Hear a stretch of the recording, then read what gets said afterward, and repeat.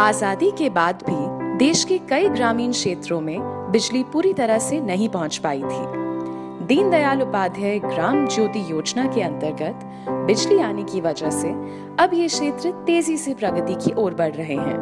आने से ठंडा पानी पीने को मिलता है, टीवी पे न्यूज़ सुनने को मिलती है और अंधेरे में भी नहीं रहना पड़ता है। शाम को बच्चे हैं, पढ़ने में सुविधा हो जाती है बच्चों को। लाइट से अब अंधेरे में खाना नहीं खाना पड़ता है और लाइट से मतलब मिक्सी वगैरह भी चला सकते हैं। ये और अंधेरे में खाना नहीं बनाना पड़ता है। हीटर वगैरह भी चला सकते हैं। बहुत सारी सुविधाएँ हैं।